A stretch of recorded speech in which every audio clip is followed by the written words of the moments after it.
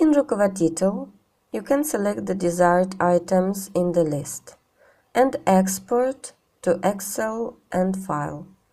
Let's choose some projects and export them.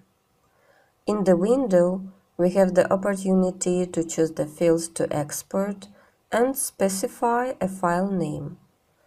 Click on Exports and as a result, we get the file. An individual element can be exported to a PDF file.